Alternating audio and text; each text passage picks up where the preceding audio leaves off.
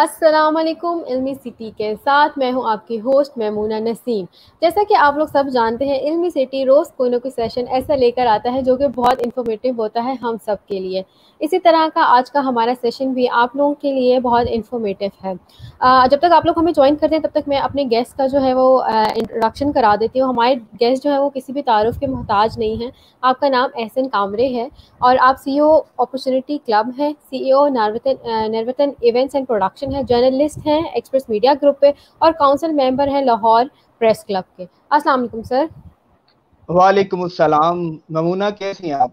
जी, अल्लाह का शुक्र अलहमदिल्ला सर। मैं आप लोगों को टॉपिक बता दी, चलूँ, आज का हमारा टॉपिक है, वो है सीक्रेट्स बिहाइंड सक्सेसफुल पीपल कामयाब लोगों में क्या ऐसी खास बात होती है कि वो जो है, बहुत सक्सेसफुल होते हैं? उनके अंदर कौन कौन सी ऐसी आदतें होती हैं जो कि वो अडॉप्ट करते हैं और वो सक्सेसफुल होते हैं? इस टॉपिक पर बात करने के लिए, सर, हमारे साथ मौजूद है। मैं चाहूँगी कि आप लोग जो है, वो देखें और ज़रूर क्वेश्चन करें, क्योंकि आप लोग को जो है सक्सेस की ऑब्वियसली सबको ज़रूरत होती है। तो सर आ, हम लोग स्टार्ट करते हैं। मैं चाहूँगी कि आप सबसे पहले बताएँ का, आ, कामयाब शख्स होता क्या है? इससे क्या मुराद है? देखिए सबसे पहले हम बात करेंगे कामयाब शख्स के बारे में जानने से पहले ज़रूरी यह है कि कामयाबी होती क्या। देखिए कामयाबी जो है हर शख्स के लिए डिफरेंट होती है। मतलब किसी के लिए आप अगर हम जनरल लाइफ एग्जांपल लेते हैं क्योंकि हमारे इस पेज के ऊपर स्टूडेंट्स भी ज़्यादा होते हैं तो अगर हम जनरल एग्जांपल लें तो हमारे यहाँ पाकिस्तान में एक मसला है इंग्लिश का। तो तो एग्ज़ाम के अंदर बहुत सारे बच्चों के लिए कामयाबी ये होती है कि वो इंग्लिश में पास हो जाएँ। और बहुत सारे लोगों के लिए कामयाबी ये होती है कि उन्होंने सारे एग्ज़ाम को पास करना है। बहुत सारे लोगों के लिए कामयाबी ये है कि वो बस पास हो जाए। लेकिन बहुत सारे जो स्टूडेंट्स होते हैं उनके लिए कामयाबी ये होती है कि वो उसमें टॉप करें। इसी तरह आप आगे चलिए। बहुत सारे स्टूडेंट्स हैं जो चाहते हैं कि वो एजुकेशन फ़ील्ड के अंदर अपना नाम करें अच्छी अच्छी डिग्रीज लें टॉप करें। लेकिन बहुत सारे स्टूडेंट्स ऐसे होते हैं जिनका एजुकेशन जो है उस पर तो इतना फोकस नहीं होता, लेकिन वो एक्स्ट्रा करिकुलर एक्टिविटीज़ के ऊपर और इसके अलावा स्पोर्ट्स में उनका बहुत ज़्यादा शौक होता है। तो उनके लिए कामयाबी ये होती है कि वो इस फ़ील्ड के अंदर अपना नाम पैदा करें। अब हम प्रोफेशनल लाइफ के अंदर आ जाते हैं। तो हमारे यहाँ पाकिस्तान के अंदर लाखों ऐसे लोग हैं जिनके लिए कामयाबी ये होती है कि वो एक क्लर्क की जॉब हासिल कर लें या एक ऑफ़िस बॉय की जॉब हासिल कर लें। और बहुत सारे लोग ऐसे हैं जिनके लिए कामयाबी ये होती है कि वो एक कंपनी के सीईओ बन जाए। इससे आगे चलते हैं तो कामयाबी बहुत सारे लोगों के लिए ये होती है कि वो किसी जगह जॉब कर लें, लेकिन कुछ लोगों के लिए कामयाबी ये होती है कि वो अपना कारोबार करें। तो इसलिए कामयाबी जो है, ये डिफरेंट होती है। हर शख्स के लिए इस कामयाबी का जो मतलब है वो डिफरेंट होता है। तो मेरे नज़दीक हर शख्स ही अपनी ज़ात के अंदर कामयाब होता। है लेकिन सिर्फ़ बात यह है कि उस शख्स को इस चीज़ का अदराक नहीं होता। मतलब एक शख्स को पता ही नहीं है कि अल्लाह ताला ने उसे क्या चीज़ अता की हुई है। तो वो उसे कैसे मालूम पड़ेगा कि वो कामयाब है? तो ये है कामयाब ठीक है? अब आते हैं कामयाबी की तरफ़। देखिए इस चीज़ के अंदर कोई दो राय नहीं है कि अल्लाह ताला ने जो इस दुनिया का इस कायनात का खालिक मालिक है उसने कोई चीज़ खराब बनाई हो। बिल्कुल। एक शेर है जो बचपन से हम सुनते आ रहे हैं कि नहीं है कोई चीज़ नहीं है आ, नहीं है चीज़ निकम्मी कोई जमाने में कोई बुरा नहीं कुदरत के कारखाने में। ये वो शेर है जो हम स्कूल लाइफ से पढ़ते आ रहे हैं। तो इसका मतलब ये है कि ये कैसे हो सकता है कि अल्लाह ताला ने कोई भी चीज़ जो है वो निकम्मी बनाई हो। इंसान जो है ये अशरफुल मखलूकत ये एक अशरफ, अल्लाह ताला ने इसको बना दिया तमाम मखलूकत में। तो लिहाजा वो चीज़ जो अशरफ है तो वो किस तरह से निकम्मी हो सकती है? और अल्लाह ताला कैसे चाह सकता है कि उसके बनाई हुई जो मखलूक है, जिसको उसने तमाम मखलूकत में अशरफ रखा है, सबसे अफजल रखा है, वो नाकाम हो। तो ये हमारी अपनी कमज़ोरी है। आप कामयाबी को इस तरह समझ लीजिए कि आपके पास एक एरोप्लेन है, जो रनवे के ऊपर खड़ा है। राइट अब रनवे के ऊपर एरोप्लेन खड़ा है वो कामयाबी आपके पास है। अब ये तो नहीं हो सकता कि आप फ़ौरन से पहले उठें और पायलट की सीट पर जाके बैठ जाएँ और उस जहाज़ को उड़ाना शुरू कर दें। वो तो जहाज़ क्रैश कर जाएगा। वो ना सिर्फ़ क्रैश करेगा कि आपकी ज़िंदगी जो है वो भी खतरे में पड़ जाएगी। और दूसरा कि जो पैसेंजर्स हैं वो भी आपको साथ उड़ान भरने के लिए राज़ी नहीं होंगे। उनको पता है कि भाई ये ये जो शख्स है इसको तो खुद नहीं पता कि जहाज़ कैसे उड़ाया जाता है? तो हम इसके साथ किस तरह से बैठ जाएँ? तो लिहाजा उस जहाज़ को उड़ाने के लिए जो स्किल्स चाहिए, यानी उस कामयाबी को हासिल करने के लिए जो स्किल्स चाहिए, वो स्किल्स आपके पास होनी चाहिए। अब यहाँ बात सिर्फ़ स्किल्स के ऊपर खत्म नहीं होती। उस जहाज़ के साथ इंजीनियर्स होते हैं, पूरा क्रू होता है एयर होस्टेस होते हैं, और बहुत सारा स्टाफ होता है। तो ये जो लोग हैं, ये सारी आपके साथ एक टीम भी होती है, जो आपको चाहिए होती है। अब जो सक्सेसफुल लोग होते हैं, उनके अंदर वो सारी स्किल्स होती हैं जो कामयाब करने के लिए ज़रूरी होती हैं। अब हम जरा उन स्किल्स को काउंट करना शुरू कर देते हैं।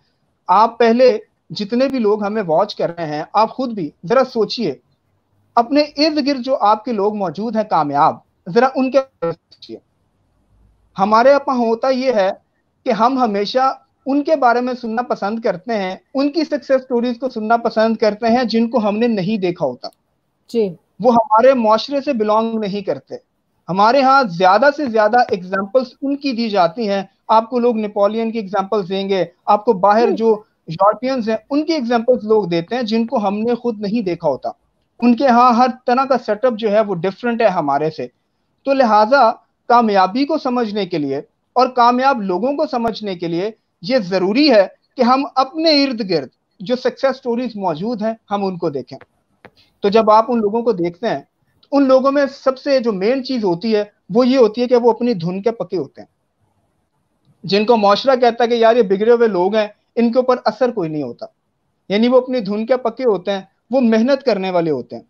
मेहनत करने के साथ साथ वो गौरव फ़िक्र करते हैं। गौरव फ़िक्र जो है, ये अल्लाह ताला की बड़ी नेमत है। अल्लाह ताला कुरान पाक में फरमाता है कि अक्ल वालों के लिए निशानियाँ हैं। अब अक्ल वाले कौन है? ये भी आगे एक और जगह बता दिया कि अक्ल वाले गौरव फ़िक्र करते हैं।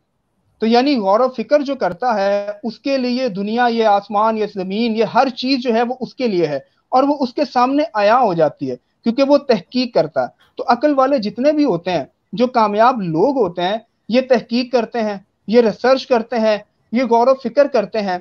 इसके अलावा ये अपनी धुन में पक्के होते हैं ये मेहनत करते हैं। इसके अलावा ये होता है कि ये बगैर सहारे के ये खड़ा होना जानते हैं। ये पूरी दुनिया के साथ टकराने की जो है इनके अंदर सलाहियत होती है इनके अंदर जज्बा होता है। देखिए कोई भी शख्स है उसको पता हो कि नाकामी उसके सामने खड़ी है तो वो नाकामी के सामने वहाँ मौजूद होते हुए वो जब कोई काम करता है तो वो कामयाब होता है। यानी उसकी ज़िंदगी वो जो लाइफ है ना लाइफ वो लाइफ को समझता है बॉक्सिंग रिंग की तरह। यानी एक बॉक्सिंग का मैच हो रहा है। आप इमेजिन करें ना बॉक्सिंग को। बॉक्सिंग का मैच हो रहा है। उस मैच के दौरान सिर्फ़ आपके पास टाइम होता है। कि आपका टाइम जो है वो खत्म होना है। उस वो राउंड है। उस टाइम के अंदर अंदर जो कुछ करना है आपने करना है। उस टाइम के अंदर आपने विन करना है। तो कामयाब लोगों की लाइफ बॉक्सिंग रिंग की तरह होती है। कि वो बॉक्सिंग मैच खेल रहे हैं। कि वहाँ उनके पास टाइम है। वो टाइम उनकी लाइफ है।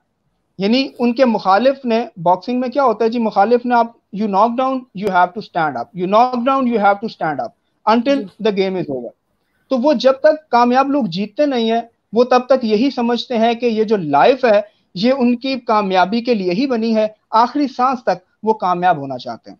जी मैम आप कुछ कह सर आ, एक मेन एलिमेंट है जिस तरह आपने कहा कि कामयाब हो सकते हैं ठीक है? लेकिन सेल्फ हम्म। कॉन्फिडेंस जो है वो भी ज़रूरी है। अगर मुझे मेरे हम्म। पे ही सेल्फ कॉन्फिडेंस नहीं कि मैं ये काम कर सकती हूँ नहीं कर सकती हूँ हम्म। तो मैं किस तरह सक्सेसफुल हो सकती हूँ?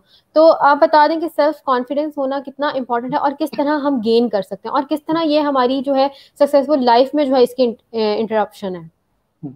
देखिए कॉन्फिडेंस जो है ना ये सबसे ज़रूरी चीज़ है। मैं एक वर्कशॉप करवा रहा था तो उस जब वर्कशॉप एंड हुई तो उस वर्कशॉप के बाद स्टूडेंट्स ने कुछ क्वेश्चन किया। उन्होंने कहा कि जी, एक ट्रेनर थे मेरे से पहले तो उन्होंने कुछ उनको बताया हुआ था कि जी, आप इंटरव्यू के लिए जाएँ तो आपको इस तरह रेडी होना चाहिए, ये कम्युनिकेशन स्किल्स होनी चाहिए, ये कुछ होना चाहिए आपके पास। तो स्टूडेंट्स ने क्वेश्चन किया कि, सर, आपने हमें ये सब कुछ बता तो दिया। हमने ये उसको नोट डाउन भी कर लिया, हम उसको लर्न भी कर लेंगे। लेकिन आप ये बताइए कि जब हम इंटरव्यू देने के लिए जाएँ तो उस वक्त हम कॉन्फिडेंस कैसे गेन करें? बिल्कुल अब ये क्वेश्चन था जो उन्होंने मेरे से पूछा मेरी टर्न में। तो मैंने फिर उनको जवाब दिया कि भाई जब हम किसी जॉब के लिए अप्लाई करते हैं तो सबसे पहले हम क्या देखते हैं? उस जॉब का क्राइटेरिया देखते क्राइटेरिया क्या है भाई? यस कि उसका क्राइटेरिया क्या है? उनकी डिमांड्स क्या है कि जो भी जॉब के लिए अप्लाई करे उसके पास क्या क्या होना चाहिए? तो जब आप क्राइटेरिया देखते हैं फिर आप ये चेक करते हैं कि आप उस क्राइटेरिया पे फॉल करते हैं। मतलब आप उस क्राइटेरिया के मुताबिक हैं you are eligible for this job अब आप एलिजिबल हैं तो फिर आपको डर कैसा है? अगर आप एलिजिबल नहीं है तो फिर आपने अप्लाई क्यों किया? जब आप एलिजिबल होते हैं अब आप ये देखिए ना कि आपके पास जॉब नहीं है आपने अप्लाई कर दिया। इस वक्त आपके पास खोने के लिए कुछ नहीं है।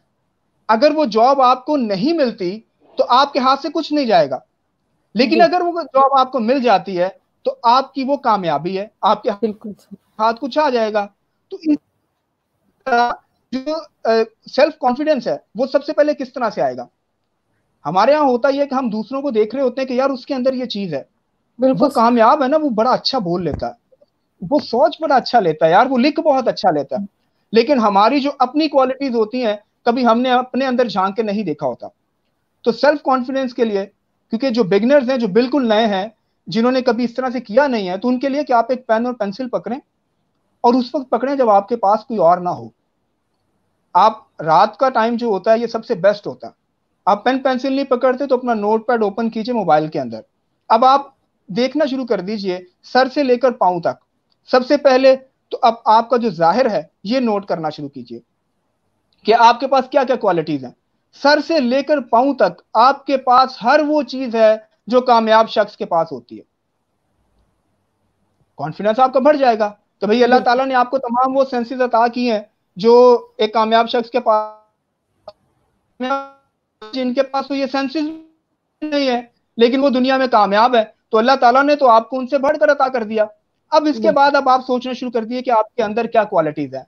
आपके अंदर स्किल्स कौन सी हैं? आप जरा वो स्किल्स को नोट डाउन करना शुरू कर दीजिए। वन बाय वन आप लिखते जाएँ, आपको पता चलता जाएगा कि यार मेरे अंदर तो ये क्वालिटी भी है, मेरे अंदर तो ये क्वालिटी भी है, मैंने तो कभी इसको देखा ही नहीं। तो हमारे यहाँ मसला ये है कि हम खुद को नहीं देखते, हम दूसरों को देख रहे होते हैं। जब हम दूसरों को देख रहे होते हैं ना तो फिर हमें अपना आप नज़र नहीं आ रहा होता, क्योंकि हम दूसरों को देखते हैं तो हमारे अंदर एहसास कमतरी पैदा होता जाता है। मतलब एक शख्स है उसने देखा, एक दूसरे शख्स को कि यार, उसने बहुत अच्छे कपड़े पहने हुए हैं।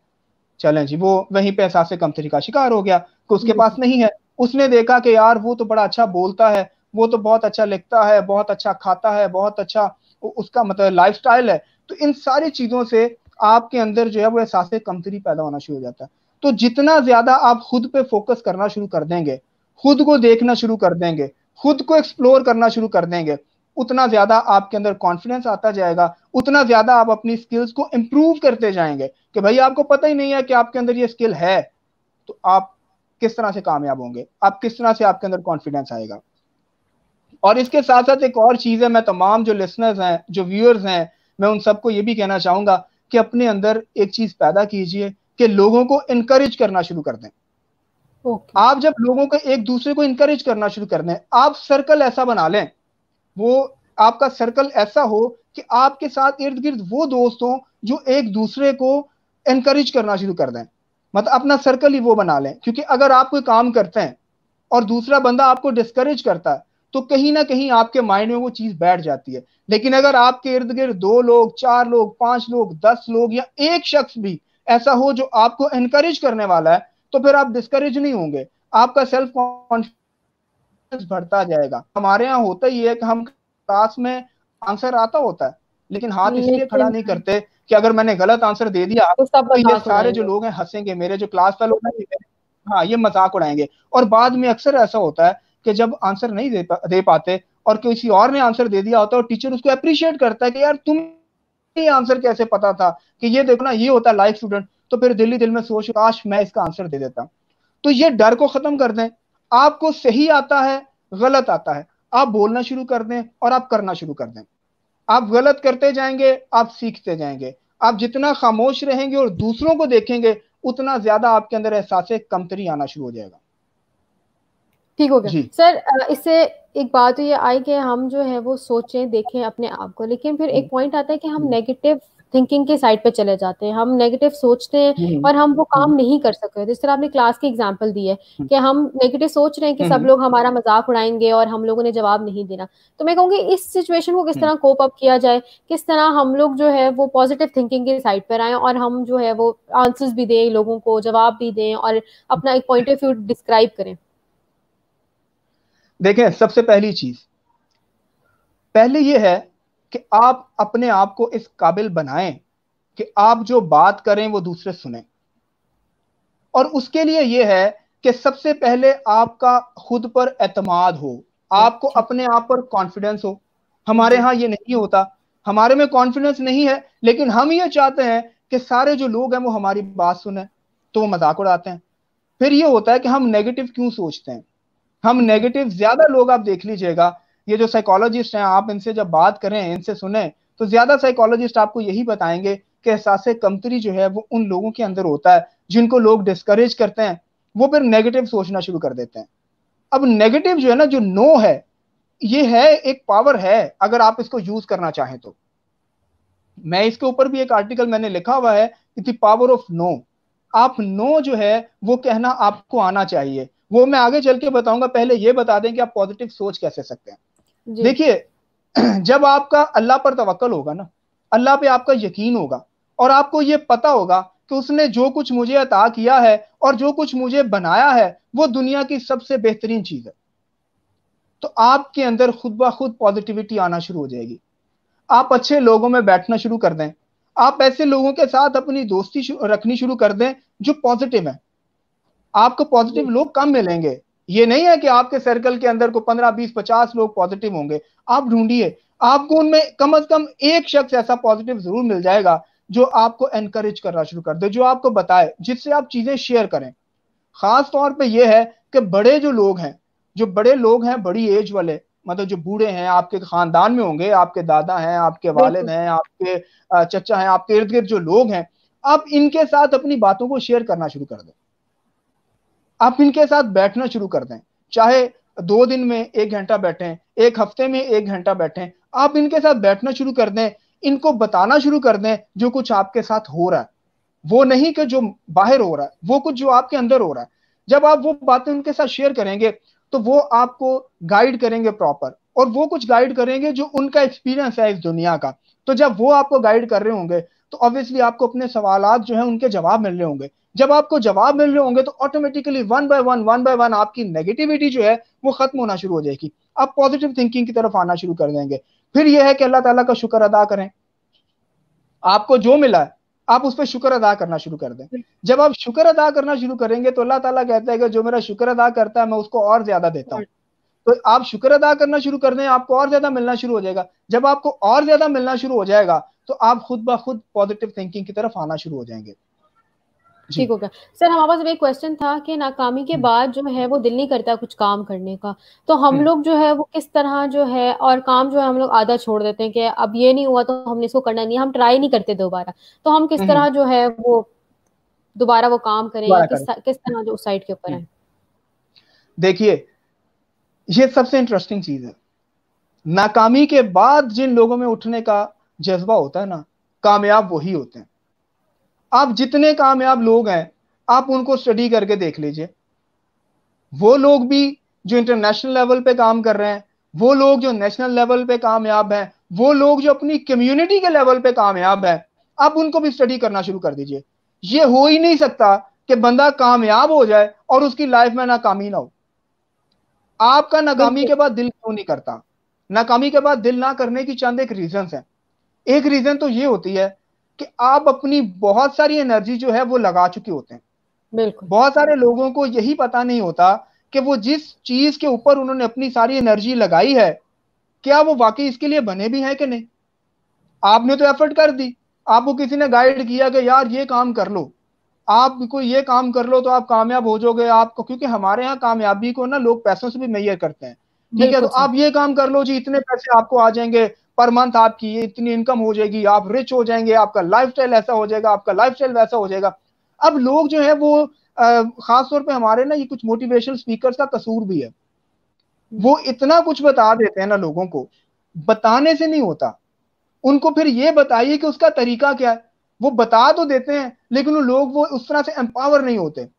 फिर वो उसी शौक और जज्बे के तहत वो कुछ ना कुछ करने के लिए तैयार हो जाते हैं। जब वो करने के लिए तैयार होते हैं तो वो स्किल्स उनके पास नहीं होती जो स्किल्स कामयाबी के लिए चाहिए होती हैं। तो वो अपनी हर तरह से पूरी एफर्ट करते हैं पूरी एनर्जी लगाते हैं उसके बाद भी वो नाकाम हो जाते हैं। अब जब सर... इतनी एफर्ट के बाद आपको नाकामी होगी मैं इसको कंक्लूड कर रहा हूँ इस बात को। जब इतनी एफर्ट के बाद आपको नाकामी होगी तो फिर आपके लिए दोबारा उठना जो है ना वो काफ़ी मुश्किल होता है डिसीज़न मुश्किल होता है। लेकिन आप ये देखें कि नाकाम लोग जो होते हैं जब वो दोबारा उठते हैं ना तो वो सब कुछ कर जाते हैं जो कामयाबी के लिए ज़रूरी होता है। यानी जो भी नाकाम हुआ है, उसके लिए क्या है कि वो वो पेन और पेंसिल पकड़ ले और बैठ जाए। कम अज कम एक हफ़्ता जो है ना, वो बैठे रोज रात को और लिखना शुरू कर दे कि उस, वो जो नाकाम हुआ है ना, वो किस किस वजह से नाकाम हुआ है।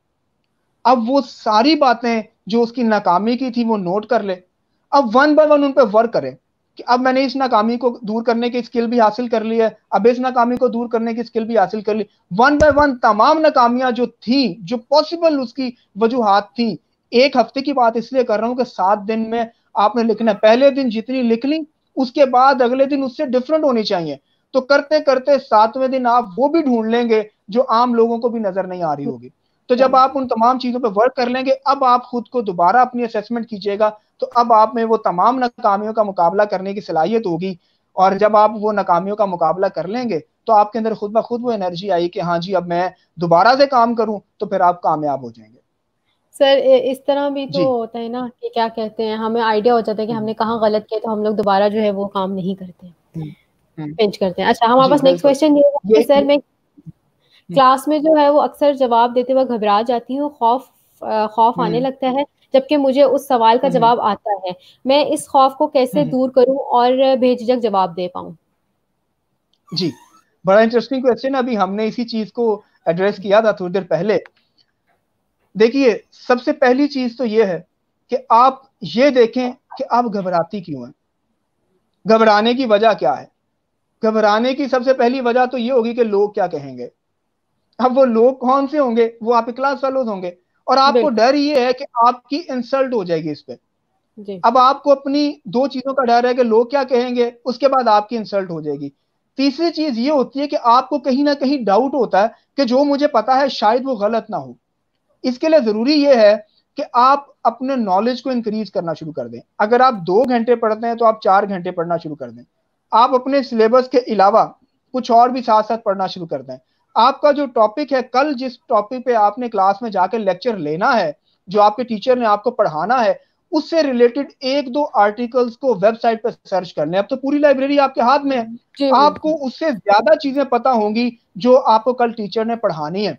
तो अब आपके पास नॉलेज चूँकि ज़्यादा होगा तो आपके पास कॉन्फिडेंस भी ज़्यादा होगा। जब आपके पास कॉन्फिडेंस ज़्यादा होगा तो जो कुछ पूछा जाएगा आप ना सिर्फ़ वो बताएँगे बल्कि उसके साथ कोई ना कोई एक्स्ट्रा इन्फॉर्मेशन भी आप ऐड करेंगे। तो इस तरह से आप अपना क्लासरूम के अंदर अपना कॉन्फिडेंस जो है उसको बूस्ट कर सकते हैं।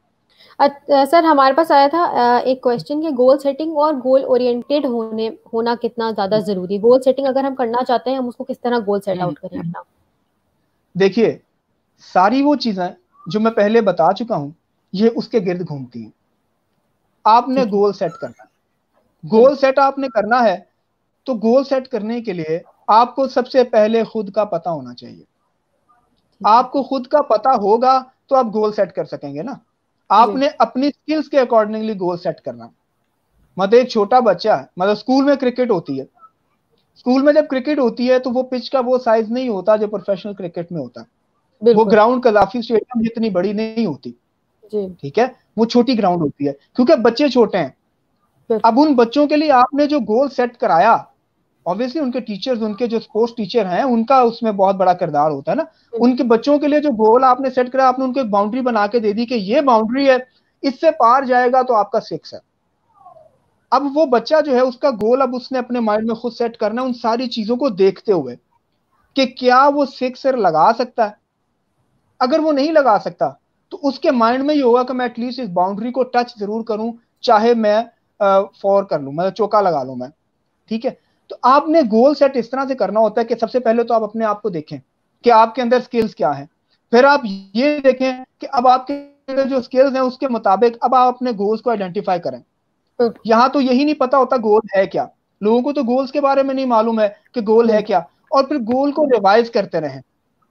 ये नहीं है कि आप जो है वो आ, मतलब आपके पास nine M nine M pistol है और आप जो आपका टारगेट है वो आप वन किलोमीटर पर रख लें और यहाँ से आप शूट करें और आप चाहें कि वो मेरा जो गोल है वहाँ पे जाकर बिल्कुल टारगेट पे हिट कर जाए तो वो नहीं होता। इसके लिए आपको छोटे छोटे टारगेट सेट करना पड़ेंगे।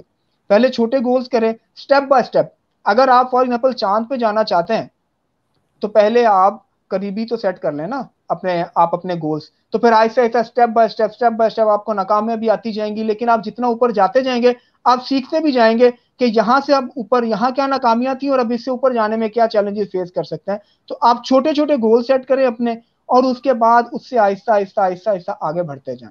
जी। राइट सर क्वेश्चन हमारे पास है, कामयाब शख्स कैसे बनता है? अपने पैशन पर किस तरह वर्क करता है cause passion is more important thing अगर पैशन होगा तो वर्क इजी बट मोटिवेशन कहीं ना कहीं किसी ना किसी वजह से खत्म होने लगती है। ऐसा क्यों है and how to cope up देखिए, ये बहुत आसान चीज़ है। आपके अंदर का स्पार्क एक बात आप याद रख लें, कोई भी शख्स उस वक्त तक कामयाब नहीं हो सकता जब तक उसके अंदर स्पार्क ना हो। इसकी एक एग्जांपल देता हूँ आपको। एक शख्स था गुब्बारे बेचने वाला। वो एक स्कूल के बाहर गुब्बारे बेच रहा और वो गैसी गुब्बारे जो होते हैं गैस बैलून वो सेल कर रहा है।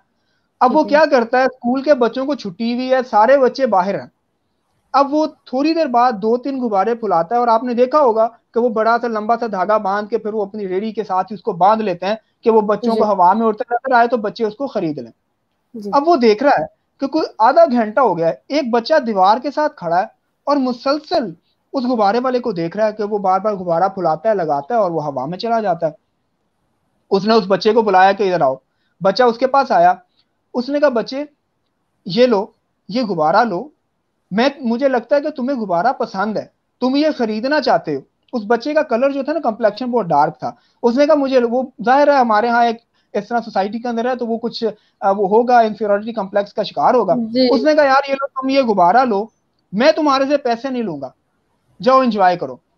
उस बच्चे ने कहा, अंकल, मैं गुब्बारा नहीं लेना चाह रहा। मैं तो बल्कि ये देख रहा हूँ कि आपके पास ये जो ब्लैक बलून पड़ा हुआ है तो मैं तो ये देखना चाहता हूँ, क्या ये भी फूल सकता है, ये भी हवा में उड़ सकता है? तो उस शख्स ने उसको बड़ा ज़बरदस्त जवाब दिया। उसने कहा, बेटा, ना तो ये काला बैलून उड़ता है हवा में, ना नीला बैलून उड़ता है, ना गुलाबी उड़ता है, ना सुर्ख उड़ता है। ये गुब्बारा नहीं उड़ता भाई, ये जो गैस है ना, ये इस गुब्बारे को उड़ाती है। ठीक है? तो आपकी जो लोग मोटिवेशन चाहते हैं ना मोटिवेशन आपको अपने अंदर से मिलेगी। आपका जो पैशन है, वो आपके अंदर ही होगा, वही आपको ड्राइव करेगा। तो आपका जो जो गैस है ना आपके अंदर, जो ये पैशन है आपका, यही आपको कामयाबी की तरफ़ लेके जाएगा। आप उस वक्त तक उड़ ही नहीं सकते जब तक आपके अंदर वो गैस ना हो। आपके अंदर वो पैशन ना हो, आपके अंदर मोटिवेशन ना हो तो आप कामयाब नहीं हो सकते। तो ये आपको किसी ना किसी तरह भी, जैसे भी करके ये आपको अपने अंदर पैदा करनी पड़ेगी। और उस पैदा करने के लिए एक ही चीज़ है कि आप खुद को जानना शुरू कर दें, अपने ऊपर वर्क करना शुरू कर दें। आप अपनी नाकामियाँ भी लिखिए, अपनी खामियाँ भी लिखिए, अपने प्लस पॉइंट भी लिखें, अपनी कामयाबियाँ भी लिखें। तो जब आप ये सब कुछ नोट डाउन कर लेंगे, आपको पता होगा कि आपके पास क्या है और क्या नहीं है। जो है उसको मजीद बेहतर करें, जो नहीं है उसको लर्न करना शुरू कर दें। अपने अंदर क्वालिटीज ऐड करते जाएँ आपका कॉन्फिडेंस बढ़ता जाएगा आपको मोटिवेशन मिलती जाएगी और आप पैशनेट होंगे। सर डिसीज़न मेकिंग जो है वो एक पॉइंट होता है। डिसीज़न मेकिंग बता दें किस तरह जो है वो हम लोग डिसाइड करें कि हमने ये करना है तो हमने ये करना है।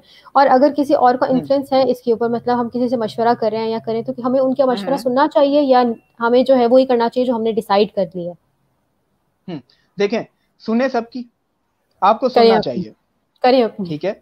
करें अपनी। लेकिन ये नहीं है कि आप हट धर्म हो। कि ऐसा नहीं है कि आपने सुना है लेकिन आपने उसके बाद कहा नहीं यार ये तो ऐसी बोल रहे हैं करनी मैंने अपनी है। वो कहते हैं कि जबान खल्क को नकारा खुदा समझो। ठीक है? आप लोगों की सुने।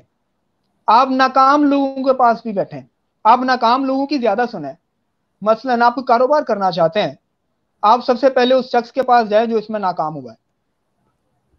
आप उसके पास जाए उससे पूछें कि आपने ये कारोबार किया था? तो क्या फ़ायदा हुआ आपको? वो आपको बताना शुरू कर देगा, यार, इसमें तो है ही कुछ नहीं। आप उससे पूछना शुरू कर दें, भाई, क्यों नहीं है कुछ? पूरी दुनिया कर रही है। इतने इतने लोगों ने इसमें नाम कमाया आपके आपको क्यों? वो फिर बताना शुरू कर देगा, यार, मैंने ये किया था, ऐसे हो गया, वैसे हो गया, ये हो गया। आपको वहाँ से आप नाकामियाँ जो है ना, उनको नोट करना शुरू कर दें। ठीक है? इसके बाद ये है कि जो कामयाब लोग हैं, उनके पास भी बैठना शुरू कर दें। आप उनकी भी सुनना शुरू कर दें। ठीक है? आपको वहाँ से भी चीज़ें मिलना शुरू हो जाएँगी। अब आपने सबको सुन लिया। सुनने के बाद अब आपने करना क्या है कि उन सबको आपने एनालाइज करना है। आपने देखना है किसने ठीक बात की है किसने गलत बात की है। जिसने ठीक बात की है आप वो नोट कर रहे हैं चाहे वो किसी नाकाम शख्स ने की हो। आप वो नोट कर लें जिसने गलत बात की है आप उसको क्रॉस कर दें। अब सारी अच्छी बातों को आप इकट्ठा कर लें। वो सारी अच्छी बातें इकट्ठा करने के बाद अब आप उनके ऊपर काम शुरू करें। तो अब वही होगा जो आप समझते हैं जो आप सोचते हैं कि वो ठीक है और उसमें फिर आपको इंशाल्लाह कामयाबी ज़रूर मिलती है। ठीक हो गया। हमारे पास सर क्वेश्चन है नाकामियाँ कैसे निकाल सकता है इंसान खुद में? देखिए अभी मैंने उसी का आंसर दे दिया कि आप नाकामियाँ कैसे निकाल सकते हैं? आपको पता ही नहीं है कि आपकी खामियाँ क्या है। आपको पता ही नहीं है कि आपकी अच्छाइयाँ क्या है। जब आपको खुद के बारे में नहीं पता मसलन ये है आपको कील लगाना नहीं आता और मैं आपको दे देता हूँ कि यार ये पकड़िए ये हैमर है ये कील है ये जरा दीवार में लगा दें। आप अपना हाथ जख्मी कर बैठेंगे। मैं आपको आड़ा दे देता हूँ कि ये लो यार इस लकड़ी को काटो। और ये लाइन लगी हुई है आपने इस तरह काटना है। लेकिन जब आप काटेंगे तो आप तिरछा ही काट जाएँगे। आप उस लाइन को खराब कर देंगे। अब ये नाकामी आप इसको नाकामी जरा तस्वर कीजिए ना कि जब एक चीज़ की स्किल नहीं है आपके पास आप वो करने जा रहे हैं। आप पहले कीजिए कि उस स्किल को हासिल करें। उसको हासिल करने के बाद आप करें। तो वही अगेन चीज़ है कि आप खुद खुद एहतसाबी करें, खुद को देखना शुरू कर दें, खुद के अंदर झांकना शुरू कर दें, आप चेक करना शुरू कर दें कि आपके अंदर क्या क्या चीज़ें हैं, क्या क्वालिटीज हैं और क्या नहीं है। अभी डिसीज़न मेकिंग का जो आपने इससे पहले पूछा था तो जब आपको ये पता होगा ना, ये बड़ा मुश्किल काम होता है डिसीज़न लेना। मसलन कि मैं फॉर एग्ज़ाम्पल मैं एक टीचर बनना चाहता हूँ, ठीक है? और मैं टीचर बनना चाहता हूँ, लेकिन उसी टाइम मुझे कोई आके ऑफ़र कर देता है कि यार टीचिंग में आपको फिफ्टी थाउज़ेंड मिल रहा है। आप ऐसा करें मेरे पास आ जाएँ। आप पब्लिक रिलेशंस में आ जाएँ क्योंकि आप अच्छा बोल लेते हैं। तो आपको हम सेवेंटी थाउज़ेंड दे देंगे। हम सेवेंटी थाउज़ेंड दे देंगे। अब यहाँ पे इंसान कंफ्यूज हो जाता है। अब कंफ्यूज किस तरह से होता है? वो कहेगा यार पता नहीं यहाँ पे सेवेंटी मिल रहा है वहाँ फिफ्टी मिल रहा है। ये एक स्कूल है वो एक मल्टीनेशनल कंपनी है तो मुझे वहाँ पे ज़्यादा चांस मिल सकता है। तो आप वहाँ पे डिसाइड करने में आपको बहुत ज़्यादा प्रॉब्लम होगी। ये तो भी सेवेंटी थाउज़ेंड ऑफ़र हुई ना, अगर आपको वन लैख हो जाए तो इससे भी ज़्यादा प्रॉब्लम होगी। तो कामयाब लोग जो होते हैं ना, उनमें डिसीज़न मेकिंग पावर बहुत स्ट्रांग होती है। अब डिसीज़न मेकिंग पावर कैसे होगी? ये भी आप सारे कर लीजिए। मैं पेन पेंसिल का इसलिए कहता हूँ कि जब एक इंसान अपने हाथ से कुछ लिख लेता है ना तो वो उसके दिमाग में चीज़ जो है वो लिखी जाती है, वहाँ पे स्टोर हो जाती है। आप आज ही लिखिए, लिखना शुरू कर दें, आपको ज़िंदगी में क्या चाहिए और क्या नहीं चाहिए। लिख दें। यानी आप सल्लल्लाहु वसल्लम को ऑफ़र हुई थी ना, कुफार मक्का से जब आप इस्लाम जो है उसकी तबलीग कर रहे थे तो आप सल्लल्लाहु अलैहि वसल्लम ने क्या फरमाया था कि अगर ये मेरे एक हाथ पे चाँद और एक हाथ पे सूरज रख दें तो मैं फिर भी अपने मकसद से नहीं हटूँगा। ये मफहूम इसका यही था कि भी यानी इतनी बड़ी चीज़ कि आपको चाँद और सूरज आपके दाएँ और बाएँ हाथ के ऊपर आ गया, इसके बाद आप जो है वो कहते हैं कि नहीं भाई, मैं तो वही करूँगा जो मैं कर रहा हूँ। मैं इससे हटने वाला नहीं हूँ। तो ये होती है डिसीज़न मेकिंग पार्ट अब डिसीज़न मेकिंग पावर यह है कि आप अपने मकसद में क्लियर हो। आप पेन पेंसिल पकड़ लीजिए और आज ही नोट करें। सात दिन सेवन डेज़ इसको भी करें आप कि आपको ज़िंदगी में क्या चाहिए और क्या नहीं चाहिए, क्या चाहिए और क्या नहीं चाहिए, ये लिस्ट बना लीजिए। उसके बाद जब आप उस लिस्ट को एंड पे क्रॉस लगा के साइन करके जिस तरह जज जो है, वो सजाए मौत सुनाने के बाद अपना कलम तोड़ देते हैं तो आप भी उस कलम को तोड़ दीजिए कि आज के बाद इसमें ना तो कुछ ऐड होगा, ना कुछ सब्ट्रैक्ट होगा। अब आपको पता है कि आपको ज़िंदगी के अंदर क्या चाहिए और आपको ज़िंदगी में क्या नहीं चाहिए। अब आप खड़े हैं और आपको पता है कि आपको ज़िंदगी में पीआर की मतलब एक आपने टीचिंग करनी है, आपने इसी के अंदर अपना करियर बनाना है और आप कोई शख्स आता है, वो कहता है, जी, आपको मैं पीआर की जॉब देता हूँ। आप उस डिपार्टमेंट में आ जाइए। मल्टी कंपनी है, बड़ा करियर है, सब कुछ है, इतने लैख सैलरी है, आप इस तरफ़ आ जाइए। अब जब आपको पता है ना कि आपने वो काम नहीं करना आप विद इन अ सेकंड आप कहेंगे जी थैंक यू सो मच मेरा तो पैशन टीचिंग है मैं तो इसी में अपना करियर बनाना चाहता हूँ। तो डिसीज़न मेकिंग जो है वो इस तरह से बनती है। Right sir last question sir हम लेंगे। कहती हैं कि सर स्टडी पर कैसे तवज्जो दें? हम्म। देखिए स्टडी पर तवज्जो कैसे दें? मैं आपको एक इंटरेस्टिंग बात बताता हूँ। जब मैंने एफएससी किया तो उसके बाद एक एनजीओ का स्कूल था। काफ़ी बैकवर्ड एरिया है इधर मनावा वाली साइड पे बाटापुर मनावा। तो वहाँ जो स्टूडेंट्स थे, कुछ ऑर्फेंस थे, कुछ गाँव से, देहातों से बच्चे थे वहाँ पे, अब होता क्या था कि वो भाग जाते थे। यानी घर से वो आए हैं स्कूल लेकिन रास्ते में से गायब हो गए। अब वो स्टूडेंट्स मेरे साथ काफ़ी अटैच हो गए थे, क्योंकि हमारा ये था कि एक तो मैंने स्कूलिंग अच्छी हुई थी और उनको उसी पैटर्न पे पढ़ाते थे जो हमने पैटर्न पढ़ा हुआ था। और हमारे यहाँ बड़ा एक फ्रेंडली एनवायरनमेंट होता था, मारदार होती कोई नहीं। एक फ्रेंडली एनवायरनमेंट था इंटरेस्टिंग स्टडी होती थी, आपने एक्टिविटीज़ भी करानी है। तो मैंने फिर उस, वो एक बच्चा था, वो भाग गया। उसके फादर उसके पीछे पीछे भाग रहे थे। जब उसके पीछे पीछे भागे हैं, उसके वहाँ खेत है, वो खेतों में घुस गया। उसने अपना बैग भी वहाँ फेंक दिया, अपनी शर्ट वगैरह भी उतार के फेंक दी और वो उसके फादर पीछे वो भाग गया। अब उसके फादर वो बैग और वो शर्ट वगैरह लेके वो स्कूल पहुँच गए। अब उसके छोटे भाई ने मस्जिद में जाके ऐलान करवाया। ये मैं कोई एग्जेजरेट नहीं कर रहा आपको एक्चुअल बता रहा हूँ कि हमारे यहाँ होता क्या स्टडी के साथ। हमारे यहाँ सेटअप ही नहीं है हम तो शहरों में बैठे हुए हैं ना यहाँ पे तो हमें बहुत अच्छा लग रहा होता है। तो होता क्या? उसने मस्जिद में ऐलान करवाया कि भाई मैं उस बच्चे का नाम नहीं बताता मेरा स्टूडेंट है और अब वो माशाल्लाह कामयाब है अब वो जो है उसने अभी यूनिवर्सिटी में एडमिशन लेना उसने एफएससी कर ली है। तो वो उसने मस्जिद में उसके भाई ने ऐलान करवाया कि यार तुम घर वापस आ जाओ अबू रो रहे हैं। ठीक है? ये मस्जिद के अंदर ऐलान हुआ और हमने अपने कानों से सुना। बाद में उसका स्कूल के अंदर जो है वो कुछ मज़ाक भी बना। बार उसके फादर आए और वहाँ स्कूल में भी काफ़ी परेशान थे। रोए कि जी, मैं तो बड़ा तंग हूँ। मैं इसके साथ मैं क्या करूँ? बहरहाल जैसे तैसे करके अगले दिन उन्होंने उसको स्कूल भेजा, खुद लेके आए घर से साथ। वो स्कूल आया, मैडम ने, प्रिंसिपल ने मेरे हवाले कर दिया कि जी, देखें, ये इशू है तो इस बच्चे को देखें, इसके साथ क्या करना। अब मैंने उसको समझाया। मैंने कहा, यार, देखो, एक बात सुनो। अभी आपके पास कुछ नहीं है। आपके फादर अनपढ़ थे आपकी फैमिली अनपढ़ है उनके पास नॉलेज नहीं है एजुकेशन नहीं है। वो खेतों में काम करते हैं लेकिन आपको पढ़ाना चाह रहे हैं। सबसे पहले तो आप शुक्रगुजार हो जाइए इस चीज़ के ऊपर जो लोग भी स्टडी में दिल लगाना चाहते हैं ना तवज्जो हासिल करना चाहते हैं। सबसे पहले तो आप इस चीज़ पे शुक्रगुजार हो जाइए कि दुनिया के अंदर करोड़ों लोग हैं जिनको पास एजुकेशन की फैसिलिटी नहीं है तो आपके पास है। बिल्कुल। अब उसके बाद फिर मैंने उसे कहा कि अब आप स्कूल आते हो। आप स्कूल आते हो आप कभी भाग जाते हो, कभी आप स्कूल आते हो, स्कूल आके बैठते हो, आप पढ़ते नहीं हो। आप क्या करो, ना पढ़ो। आप एक दिन ना पढ़ो, दो दिन ना पढ़ो, तीन दिन ना पढ़ो। आप एक लेसन ना याद करो, दूसरा ना करो, तीसरा ना करो। कम अज कम ऐसा करो कि हम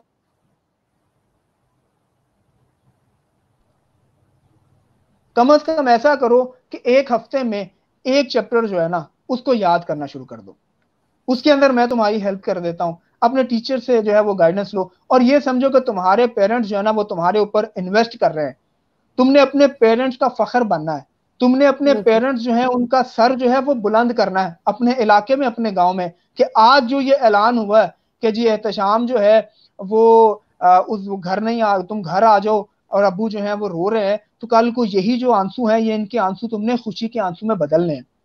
फिर क्या था कि उस बच्चे को स्टडी के अंदर प्रॉब्लम थी। अब उसको बताना, उसका दिल ऐसा ऐसा वो कन्वेंस हुआ और उसने कहा, ठीक है जी, मैं पढ़ना शुरू करूँगा। यानी आपने इमोशनली बच्चों को जो है वो टैकल करना होता है। अब उसके बाद उसने कहा, जी, ठीक है, मैं अब पढ़ना शुरू करूँगा। अब उसने पढ़ना शुरू किया, उसको स्टडी के अंदर प्रॉब्लम थी। अब आप क्या कर रहे हैं? जिन लोगों को स्टडी के अंदर तवज्जो नहीं ना हो रही कंसंट्रेशन नहीं हो रही, उसकी वजह यह है कि कहीं ना कहीं उनको वो चीज़ समझ नहीं आ रही जो वो पढ़ पढ़ रहे हैं। या तो उनको बाय फोर्स उस, उसमें दाखिल करा दिया गया कि जी, आपने करना यही है। या फिर यह है कि उनकी जो बेसिक है, जो उन्होंने प्राइमरी स्कूल से जो वो पढ़ते आ रहे हैं, उसके ऊपर उनकी ग्रिप नहीं है। अब आप क्या करें? आप ऐसा करना शुरू कर दें कि पुरानी बुक्स को भी एक बार स्टडी करना शुरू कर दें। आप जो टॉपिक आपको समझ नहीं आ रहा, जिस पे अभी कंसंट्रेशन इसीलिए नहीं हो रही ना, आप टॉपिक आपने बुक खोल ली, आपको चक्कर आना शुरू हो गए। आपने बुक खोल ली, आपको नींद आना शुरू हो गई है ये हमारे साथ भी होता रहा बहुत सारे टॉपिक्स में ऐसा तो हमारे पास तो उस वक्त तो लाइब्रेरी में जाना पड़ता था। अब तो पूरी लाइब्रेरी आपके हाथ में आप गूगल करें। आप इंग्लिश में सुनना चाहते हैं आप इंग्लिश में करें आप उर्दू में सुनना चाहते हैं उर्दू में करें। और ज़्यादा फैसिलिटी है कि कोई टॉपिक दुनिया का ऐसा नहीं है जो यूट्यूब के ऊपर नहीं पड़ा हुआ। आप यूट्यूब पे चले जाएँ आप उसको सुनना शुरू कर दें। इस तरह आपकी जो फोकस है आपका स्टडी के ऊपर फोकस आपका होना शुरू हो जाएगा। ठीक है? इस तरह आप तवज्जो आपकी जो बढ़ जाएगी वो उसी तरह बढ़ेगी कि जो आप पढ़ रहे हैं वो आपको समझ आना शुरू हो जाए। जी। Thank you so much sir हम जो है सेशन में एंडिंग की तरफ़ आ, आ रहे हैं। आप बहुत अच्छी इन्फॉर्मेशन थी। मैं सब लोग को कहूँगी कि जो सर ने जितना बात की कि सेल्फ कॉन्फिडेंस जो है वो सबसे मेन चीज़ है। सेल्फ कॉन्फिडेंस आपके अंदर होगा। तो आप लोग जो है वो एक सक्सेसफुल इंसान बन सकते हैं। इसके अलावा दूसरों का मशवरा या अपने बड़ों के साथ ज़रूर बैठें। उन उनसे जो है उनके आइडियाज़ वगैरह लें। उनकी लाइफ के बारे में जो है वो आप लोग ज़रूर पूछें। Thank you once again sir तो में याद रखिएगा। अल्लाह हाफिज़। You are welcome thank you so much for inviting अल्लाह हाफिज़। अल्लाह हाफिज़।